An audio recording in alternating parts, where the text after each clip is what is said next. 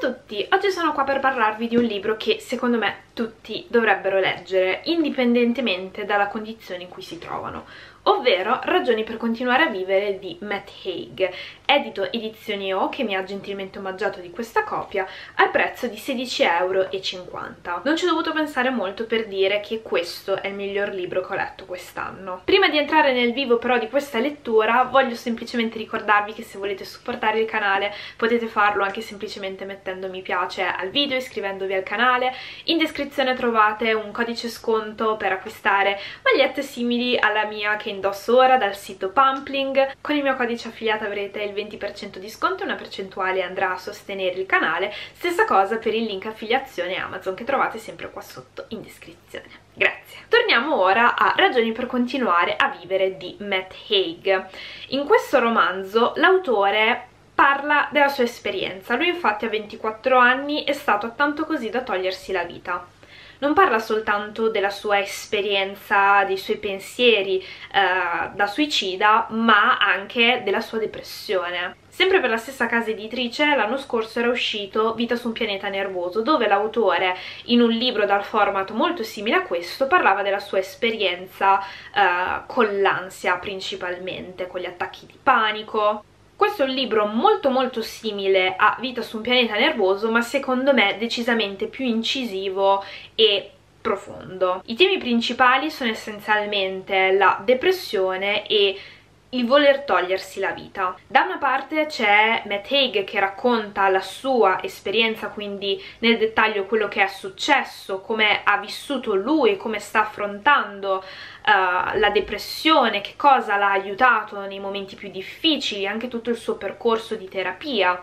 e dall'altra ci sono dei capitoli dedicati ad esempio a delle citazioni, dei motivi per cui appunto uh, continuare a vivere, tratti ad esempio anche dal suo seguito oppure cose che lo hanno fatto stare bene, cose che lo hanno fatto stare particolarmente male, delle conversazioni ovviamente fittizie che avrebbe voluto avere però uh, con se stesso delle riflessioni in generale appunto su quello che stava vivendo. È secondo me un modo molto interessante di integrare l'esperienza comunque eh, dell'autore perché rende la lettura un po' più accattivante, un po' più fluida e permette di dare uno sguardo tra virgolette anche un po' esterno. L'autore comunque non si professa mai un santone, un guaritore, un ti dirò come ritrovare la voglia di vivere, eh, se ce l'ho fatta io ce la puoi fare anche tu facendo questo e quest'altro. La cosa più bella è che appunto non c'è questo intento, l'autore semplicemente racconta la sua esperienza, perché in questo modo tante altre persone magari si sentiranno capite, tante persone troveranno magari il coraggio di parlarne, di intraprendere un percorso o magari quelle persone non coinvolte in prima persona riusciranno a capire meglio che cosa stanno provando altre persone, quindi avere un po' più di empatia verso il prossimo, ma anche di capire ad esempio che la depressione non è sentirsi molto molto tristi, ma è una malattia. Diciamo infatti che l'argomento principale del libro è la depressione e mi è piaciuto moltissimo il modo in cui l'autore parla di depressione perché come vi dicevo non tenta di far capire al lettore che cosa fare per uscirne non, non cerca di dare dei veri e propri consigli ma semplicemente attraverso la sua esperienza cerca di portare a galla magari delle cose che spesso non vengono dette perché si ha vergogna, perché la depressione non viene considerata una vera malattia. Eppure è la depressione la causa di tantissimi suicidi. In generale sono molte di più le persone che si tolgono la vita per malattie mentali rispetto a quelle uh, che si uccidono per problemi invece fisici. Un'altra cosa secondo me molto interessante è che viene affrontato proprio la divisione fra malattia mentale e malattia fisica, divisione che spesso porta appunto ad avere dei pregiudizi nel confronto delle malattie mentali. Ho apprezzato il fatto che l'autore elencasse alcuni dei tra virgolette disturbi collaterali che ha, eh, ha portato la, la sua depressione perché aiuta a far capire come non sia una cosa poi così tanto semplice, ma soprattutto una cosa che forse avrei preferito fosse sottolineata di più nel libro è che siamo tutti diversi, reagiamo differentemente eh, di fronte ai problemi, di fronte al dolore, di fronte anche alla malattia e la depressione si può manifestare, portare dei sintomi diversi a seconda della persona. Questo viene detto proprio all'inizio ed è secondo me la chiave in generale per eh, iniziare a capire chi magari soffre non solo di depressione ma di qualsiasi eh, malattia mentale. Succede in realtà tantissimo anche con le malattie fisiche, i sintomi possono variare da persona a persona e questo succede anche per quanto riguarda la depressione e in particolare una cosa che a me ha colpito tantissimo, lo dirò magari tante volte, ma leggendo questo libro mi sono sentita veramente capita, non mi sono sentita più così tanto invisibile e ho pianto tantissimo proprio per questo, perché sentivo che l'autore stava dando voce e soprattutto spazio a qualcosa che viene sempre messo un po' da parte perché quante volte abbiamo sentito qualcuno dire eh ma oggi sai sono un po' depresso come appunto sinonimo dell'essere tristi essere depressi invece non vuol dire essere tristi. Dicevo, come dice anche l'autore, è una malattia vera e propria. Non ci sogneremmo mai di dire le cose che diciamo a una persona depressa ad una persona che invece che so, soffre di, uh, di, cancro o ha dei disturbi ad esempio intestinali o al cuore eccetera. E a tal proposito voglio veramente leggervi un pezzo del libro. Cose che si dicono a un depresso ma non in altre situazioni potenzialmente letali. Dai, so che hai la tubercolosi ma potrebbe andare peggio almeno non è morto nessuno secondo te perché ti è venuto il cancro allo stomaco? Sì, lo so, è brutto avere il cancro al colon, ma prova a vivere accanto a uno che ce l'ha. Mamma mia, un incubo. Alzheimer dici? Non me ne parlare. A me capita sempre. Ah, la meningite. Su dai, pensa alle cose importanti piuttosto. Sì, sì, ti sta prendendo fuoco una gamba, ma continuare a parlarne non migliorerà le cose. Ok, sì, va bene. Non ti è aperto il paracadute. Però su col morale. Ecco, questo vi fa capire come la depressione sia una delle tante malattie prese molto sotto gamba, soprattutto dalle persone che stanno appunto vicino ad una persona con questo tipo di malattia.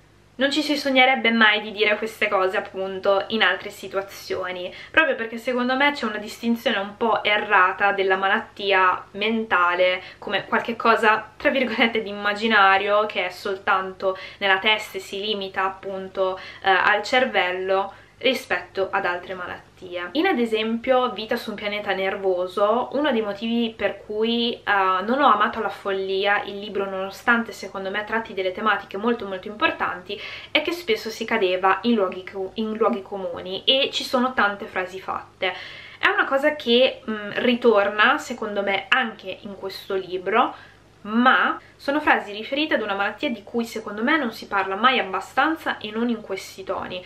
Quindi, anche se a volte ci sono delle cose che tra virgolette per me sono scontate, mi rendo conto che per tantissime persone non lo sono e per questo mi sento di dire che è un libro che serve di più a quelle persone che magari non soffrono di depressione perché può aprir loro veramente gli occhi ci sono dei punti in cui l'autore dà anche dei consigli spassionati a chi magari appunto um, è vicino a qualcuno che soffre di depressione perché molto spesso si ricorre in queste frasi qui, ma sì, tanto passa, eh, su col morale, oppure colpevolizzano. È sicuramente un libro che aiuta anche chi ha sofferto, soffre tuttora di depressione, chi ha ha pensato almeno una volta nella vita di togliersi la vita, non perché dà dei consigli su come affrontare il tutto, ma attraverso l'esperienza dell'autore ti fa capire, ti fa sentire capito, ti fa sentire non solo, non sbagliato, non con qualcosa che hai solo tu, che è incurabile.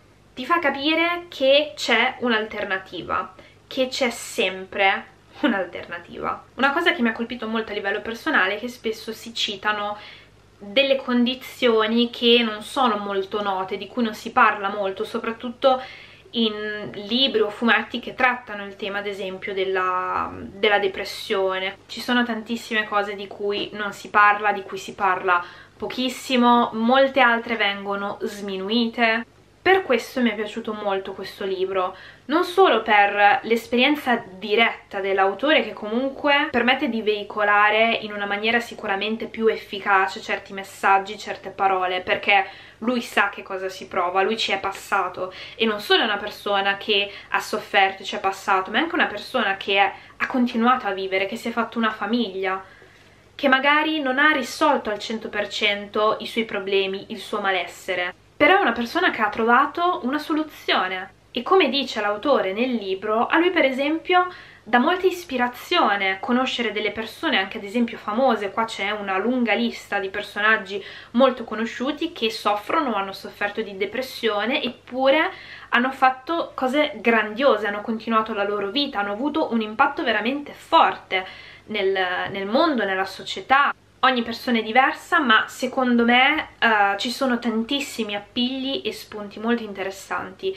in questo libro. In primis per chi magari soffre d'ansia, ha mai pensato di togliersi la vita soffre o ha sofferto di depressione o di altre malattie mentali perché sicuramente si sentirà capito, sentirà che finalmente qualcuno dà voce a qualcosa di cui non si parla abbastanza che viene sempre più sminuito ma secondo me è un libro che tutti dovrebbero leggere anche se non hanno mai avuto esperienze dirette con ad esempio una malattia mentale proprio per cercare di capire. L'ignoranza è una bruttissima bestia.